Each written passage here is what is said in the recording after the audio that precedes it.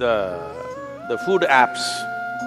2019, start the year with one month no cook… no cooking month. Just order, one month we'll give you discount, every day we will supply what you want. You don't have to cook for one month.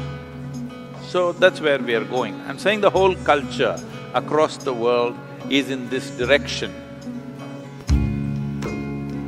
So the menu has to be really long for them to choose.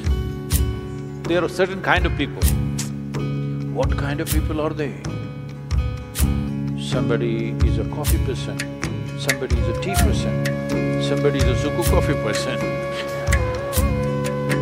Like this, somebody is this person, that person, I'm saying people have taken to variety of things. So, we are writing about coffee also, about tea also, about headache also, about mysticism also, about spiritual process also, about death also, about life also, because it takes such a long menu today to get everybody's attention.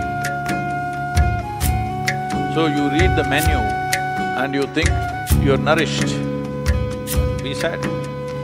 Inner engineering is a structured process to bring it into your life. To bring it into your head, YouTube videos are okay. To make it a part of your life, you need a strong practice.